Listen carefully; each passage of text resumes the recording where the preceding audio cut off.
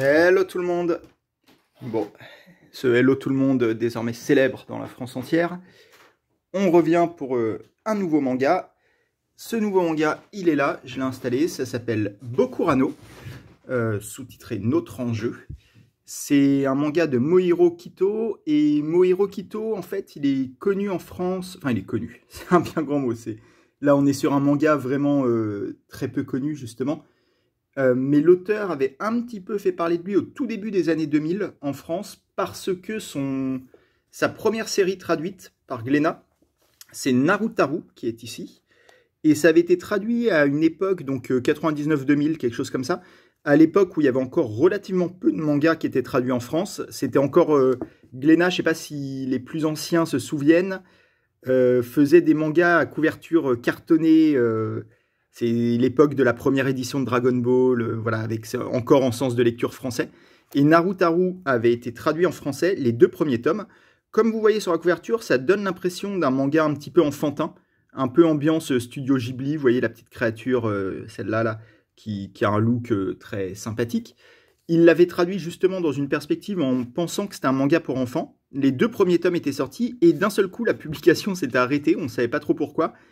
Et c'est parce que Narutaru, euh, après euh, un début en effet qui peut laisser penser que c'est un manga pour enfants, devient assez gore, assez sombre dans les thématiques. Il y a, des histoires de viol, d'inceste, il, y a, des meurtres, des meurtres de masse dans tous les sens. Et ils n'avaient pas prévu le coup, Glenna, ils n'avaient pas vu le truc venir, donc ils ont arrêté la publication avant de la reprendre en intégralité il y a maintenant quelques années quand même, mais ce qui fait que Narutaru disponible maintenant en entier en France, après avoir été longtemps un peu une œuvre euh, euh, maudite, euh, un peu secrète, ou voilà, qui, les avait pris, qui les avait pris par surprise et qui avait créé un petit, un petit culte autour d'elle de, de, ce fait. Sauf que le, le fait est qu'en réalité, Narutaru, c'est pas si ouf. Il y a beaucoup, beaucoup de défauts dans Narutaru. notamment le rythme qui est très bâtard. on passe de grosses scènes d'action à parfois des phases très très longues où on ne sait pas du tout où l'auteur veut en venir. Les personnages évoluent un peu mollement. Il, à la fois, ils sont pris dans un délire où ils sont, euh, liés à des créatures, euh, ce genre de créatures, qui, les aident à sauver l'univers, hein, en gros. Euh, et en même temps, ils passent beaucoup de temps à ne rien faire, à pas trop s'étonner du fait qu'il y ait soudain des créatures monstrueuses qui apparaissent c'est très bizarre Narutaru. Il y, a, il y a un rythme très bâtard. On sent que c'est pas totalement maîtrisé euh, par l'auteur Mohiro Kito. Euh, mais voilà, c'est une œuvre qui a, fait un petit peu parler d'elle que je ne vous conseille qu'à moitié parce que ouais, vraiment il y a beaucoup de défauts. Et c'est d'ailleurs un petit peu le cas de sa deuxième œuvre traduite en France. Pour l'instant, il n'y en a que deux. Euh, et la deuxième, donc, c'est Bokurano, qui au Japon était sorti entre 2004 et 2011 c'est en 13 tomes, en 11 tomes, pardon, excusez-moi. C'est Narutaru est en 12 tomes et, et Bokurano en 11 tomes. Euh, Bokurano, donc, qui est, qui postérieur à Narutaru, est un petit peu, et un, peu plus maîtrisé, euh, même s'il y a encore des défauts, on va en parler. Bokurano, c'est l'histoire de 15 gamins qui sont, euh, là vous en voyez une partie sur les couvertures, qui, qui, sont en colonie de vacances au départ, et qui rentrent dans une grotte dans laquelle ils vont trouver un... Je, vous la fais très courte, mais ils vont tomber sur un robot géant de plus de 500 mètres, qui est la créature que vous voyez derrière, qu'ils vont appeler Zert, et avec lequel ils vont combattre d'autres monstres géants. Donc on est sur une histoire de, robots géants contre monstres géants, euh, des kaiju, euh, des Jaeger pour les fans de Pacific Rim. Et, voilà. Et le, le twist, c'est qu'en fait, ces 15 gamins, vont piloter le robot chacun leur tour. En fait, même s'ils se retrouvent tous dans le cockpit à chaque fois qu'un monstre géant apparaît, il n'y a qu'un seul des gamins qui pilote réellement le robot. Et ce qu'ils découvrent à la fin du premier tome, c'est que euh, le, pilote, celui qui a piloté le robot pendant le combat, euh, va mourir à la fin du combat. Parce qu'en fait, le robot est alimenté par la force vitale du pilote. Et donc, ils comprennent très rapidement que certes, ils doivent sauver la Terre. En fait, quand ils rentrent dans la grotte, j'essaye de vous trouver dans les premières pages, quand ils rentrent dans la grotte, il y a cet homme-là qui dit s'appeler Cocopelli, euh, qui leur explique que, voilà, ils vont, ils vont participer à une espèce de tournoi. où ils vont devoir se battre contre d'autres monstres géants. Et, et c'est pour sauver la Terre. S'ils perdent, la Terre est détruite, donc ils doivent gagner leur combat. Ils ont 15 combats à mener, un chacun, et ils découvrent donc qu'ils vont mourir à la fin des combats. Donc ils doivent sauver la Terre, mais au prix de leur vie, les uns après les autres. Euh, c'est un manga, je pense que vous le comprenez dès le, dès le résumé que je viens de vous faire, qui est très inspiré par une série animée euh, qui s'appelle Neo Genesis Evangelion, qui est très connue euh, de tous les, fans de dessins animés japonais, qui est très connue en France et qui est encore plus connue au Japon. En fait, j'étais allé au Japon à peu près à la période de publication de Naruto je sais plus en quelle année, ça devait être 2006 peut-être. Et j'avais été surpris en me baladant à Tokyo, dans les boutiques de manga, d'animés, de jeux vidéo, à quel point euh, Evangelion était ultra présent dans les goodies, dans les, trucs en vente. En France, euh, Evangelion, c'est un dessin animé euh, très. Qui est, connu, mais qui est très réservé à un public de niche qui cherche un peu des, des œuvres un petit peu intello, on va dire. même si c'est des, des, robots géants qui se battent contre des monstres géants, euh, ça a initié un peu une mode au Japon euh, de faire de ces récits-là, de, ces récits de kaiju, les monstres géants, les kaiju, euh, comme on en avait déjà parlé dans le manga sur Akaiju, justement, de faire de ces récits des métaphores pour parler de sujets plus graves, pour parler de, de, troubles existentiels, on va dire. Et c'est un peu resté aujourd'hui, dans les années 2020, euh, le récit de, robots géants est devenu un truc presque un télo au Japon, et c'est clairement, euh, clairement via Evangelion qui a initié ce truc-là. Et Bokurano euh, s'inscrit complètement là-dedans. Donc en fait, certes, c'est combat géant, combat de monstres géants, mais en vrai, on passe surtout du beaucoup, beaucoup, beaucoup plus de temps à suivre les 15 gamins qui ont... Je dis gamins, en fait, je crois qu'ils ont 14 ans globalement. Et on va vérifier ça. Il y a les présentations des persos à chaque fois au début.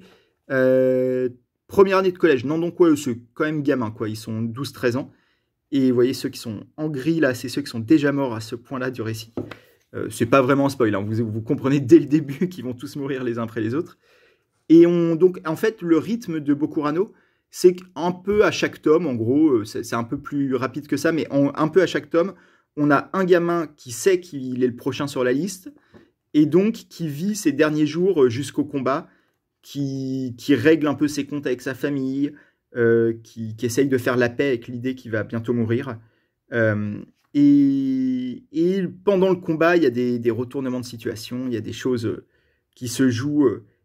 Certains profitent du fait d'être aux commandes d'un monstre de 500 mètres pour se venger. je ne vais pas trop spoiler, dire qui fait quoi, mais il y en a certains qui vont en profiter pour détruire une partie de la ville. Il y en a d'autres qui veulent se suicider. Il y en a qui essayent de fuir. et, donc voilà, donc c'est un récit assez bizarre, avec un rythme bizarre également, parce que on a donc un peu un tome par gamin, plus ou moins, avec à chaque fois un nouveau monstre à battre, avec une évolution de l'histoire aussi sur l'origine des monstres, sur l'origine du robot. ça, je préfère vraiment pas trop vous dire parce que la révélation sur d'où viennent ces monstres, qu'est-ce qu'ils sont, euh, qui les dirige, tout ça. Euh, c'est plutôt intéressant. Euh, le, twist est plutôt bien vu. Donc je vous laisse la surprise si vous le lisez. Il y a cette petite créature qui s'appelle Trucky Fouette, c'est comme ça que les gamins l'appellent, qui, leur explique un peu les règles. C'est à la fois leur, leur, mentor, on va dire, en, combat de robots géants, et en même temps, on sent qu'il a des choses à cacher, qu'il est, qu'il pas forcément si bienveillant que ça vis-à-vis d'eux. Euh, ça m'a beaucoup fait penser d'ailleurs toute cette histoire à un jeu vidéo que j'ai beaucoup aimé, que j'ai ramené là, qui s'appelle Danganronpa et qui est un jeu sorti à la base sur PlayStation Vita mais qui est maintenant disponible sur PlayStation 4. Euh, qui il y a plusieurs épisodes, c'est surtout le, premier qui est connu, mais les suites sont très très bien aussi. Et qui est un jeu pareil où sur une quinzaine de gamins, c'est à peu près le même nombre, qui sont enfermés dans un lycée et qui doivent se tuer les uns les autres pour sortir. Donc c'est un peu un, ils doivent, se, ils doivent tuer un autre élève pour avoir le droit de sortir, mais sans se faire prendre. Après, il y a un procès qui s'organise pour savoir qui est le coupable, et s'ils arrivent à ne pas être, ne pas être euh, identifiés comme étant les meurtriers, ils ont le droit de sortir et tous les autres se font tuer. Là aussi, il y a une mascotte un peu bizarre qui, pareil, euh, les règles du jeu, euh, est mignonne et en même temps très dangereuse. Donc il y a beaucoup de liens. Il y a beaucoup de liens. Je pense pas que Bokurano soit inspiré de Danganronpa au niveau des dates, ça colle pas. Danganronpa est, est postérieur à Bokurano. Par contre, oui, Bokurano, c'est clairement inspiré d'Evangelion. Là-dessus, il n'y a pas de doute. C'est une œuvre, donc comme je dis, très bizarre, qui, qui plaira davantage finalement aux amateurs de récits psychologiques et aux, interrogations morales. Euh, il y a beaucoup de beaucoup d'interrogations sur le bien, le mal, sur le sens de la vie. Euh, ça parle beaucoup de la mort, donc de la vie, hein, c'est toujours pareil. Euh, ça plaira beaucoup plus à ces amateurs-là qu'aux amateurs de, récits de robots géants. C'est finalement c'est presque secondaire le côté robot géant, même si c'est là quand même. Hein, vous voyez, il y a, ça, ça, se tape un peu dans les villes. Il y a tout, il y a l'armée qui rentre en jeu aussi, qui essaye de soutenir les enfants. Il y a tout un rapport avec le public aussi. Euh, la population, euh, au bout d'un moment, comprend un peu ce qui se joue et n'est pas forcément euh, très fan de ces enfants qui, certes, cherchent à sauver le monde, à, empêcher la destruction de la Terre, mais qui en même temps font des dommages énormes au passage. à chaque combat, c'est un cataclysme, il y a des milliers de victimes. Donc il y a tout un rapport avec ça qui est assez bien géré. Mohiro, Mohiro Kito, l'auteur, a vraiment pris du niveau dans sa manière de raconter l'histoire par rapport Narutaru. Comme je disais, c'était assez maladroit euh, sous bien des aspects. Narutaru, c'est pas un très bon manga au final. Là où Bokurano est un bon manga, avec encore des maladresses, notamment le rythme un peu bizarre. Les premiers tomes sont un peu durs, hein. il faut, euh, il faut s'accrocher parce qu'on a l'impression qu'il ne se passe pas grand-chose. Et puis il y a un décalage bizarre entre les enjeux du récit, euh, qui, sont, qui sont gigantesques, et les réactions des personnages. On a l'impression souvent qui n'en pensent pas grand-chose, que ça les concerne que de loin finalement. Euh, il y a des histoires de robots géants, de fin du monde, tout ça, et eux, ils donnent l'impression de s'en foutre à moitié. C'est assez bizarre, et je pense que c'est un peu une maladresse de Mohiro Kito. Euh, je pense pas que ce soit voulu, ce côté-là. Ce qui est voulu, par contre, c'est que dans tout le récit, euh, tout le long du récit, il y a euh, une ambiance très lancinante. On a l'impression que tout se passe en hiver, dans un temps un peu grisâtre, pluvieux. Euh, il y, a, de longues phases. Finalement, même si ça parle robot géant contre monstre géant, moi, l'image que je garde de Bokurano, c'est beaucoup, j'ai l'impression, de personnages qui, qui se promènent en ville en traînant un peu leur dépression et en, ne sachant pas trop où ils vont, en, regardant un ciel gris et en discutant de la mort. quoi. C'est beaucoup ça, Bokurano. Je sais pas si je vous donne envie de le lire en le décrivant comme ça, mais il y a vraiment cette ambiance comme ça euh, de dépression, euh, de, de dépression lente, où où il se passe pas grand chose, avec beaucoup de plans, vous voyez, beaucoup d'images comme ça de, de villes japonaises euh, en attente, en attente du prochain monstre, en attente de la mort, en attente de la sentence. Et ouais, ça attend beaucoup, euh, Bokurano. Il y a des explosions le temps du combat, mais entre les combats, c'est des longues phases d'attente euh, macabre, morbide, parce qu'on sait euh, comment ça va se terminer. Il n'y a, a pas de suspense. Forcément, le prochain pilote va mourir. Soit en gagnant, où il sera le seul à mourir, soit il va perdre et toute la Terre va mourir.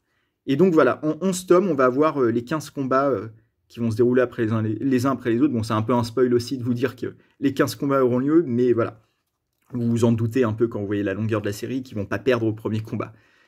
Euh, voilà, ça parle un peu de tout ça. Beaucoup de, beaucoup de sous-textes suivant les enfants, un, peu, un peu sombres aussi ça, dépend des cas, mais il y en a qui ont des, histoires personnelles euh, assez crado, euh, que ce soit secret de famille, que ce soit euh, viol pour une. voilà, il y, a des histoires faut, psychologiquement un peu dures. c'est pas un pas un manga gentil. c'est un manga qui traite de thématiques graves et, sombres, mais qui, le fait plutôt bien, qui le fait bien mieux que Narutaru en tout cas, et qui le fait quand même avec quelques maladresses, mais c'est des maladresses justement c'est peut-être là où je voulais en venir en parlant de ce manga-là, qui sont euh, qui en font l'identité également. En fait, on, peut avoir tendance dans les secteurs où il y a un peu une surproduction, ce qui est le cas du manga, ce qui est le cas dans, dans un cas qui me touche plus, euh, la littérature, où il y a trop de livres qui sortent, il y a trop de mangas qui sortent, et on peut se dire, en fait, cette surproduction nuit à tout le monde, ça nuit aux lecteurs, ça nuit au marché, ça tire la qualité vers le bas, parce qu'en fait, les éditeurs se mettent à faire du volume, du volume, du volume, sans chercher à sortir des, œuvres artistiquement intéressantes. Et, on, peut, avoir tendance à se dire euh, il, ne faut sortir que des œuvres euh, parfaites, que des, chefs-d'œuvre euh, vraiment qui peuvent, qui sont susceptibles de devenir l'œuvre favorite de quelqu'un. Sauf qu'avec cette réflexion-là, qui est une réflexion que moi je peux avoir par moment d'ailleurs, hein, mais en fait, on passe à côté d'œuvres certes imparfaites, comme Bokurano, notamment au niveau du dessin. Vous voyez, on sent que, que l'auteur euh, Mohiro Kito est pas le plus grand dessinateur. Il a un peu de mal à, rendre ses personnages très expressifs. la narration est un peu maladroite. Introduire 15 persos d'un seul coup, ça fait que euh, on prend du temps avant de les identifier les uns les autres. Et vu qu'en plus ils meurent chacun leur tour, les 3-4 premiers, vous vous en souvenez à peine à la fin du récit, hein, honnêtement. Euh, il n'a pas pris le temps de les installer. Euh, ils sont morts 100 pages après, avoir, après être apparus, donc c'est un peu dur. Mais toutes ces maladresses font que le manga n'est pas un chef-d'œuvre, mais il a une vraie identité, il a un vrai truc à lui qui ne tient pas que à l'originalité de, son scénario, même s'il y a ça, ce, mécanisme de, des pilotes qui meurent les uns après les autres il y a d'autres, identités dans, l'unité que, que, forme toute cette petite bande qui devient un peu petit à petit une famille, quoi, qui se soutiennent les uns les autres, ils ont le même destin, quoi, ils savent tous qu'ils vont mourir.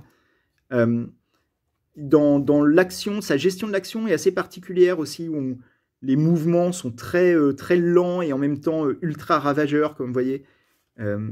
Et, et, tout ça, on serait passé à côté si on, avait, si, si on décidait de ne publier que des chefs-d'œuvre eh ben, il y a des œuvres, certes secondaires, certes imparfaites, mais qui offrent quelque chose de, propre à elles, qui ont une intimité, qui ont une, une, originalité.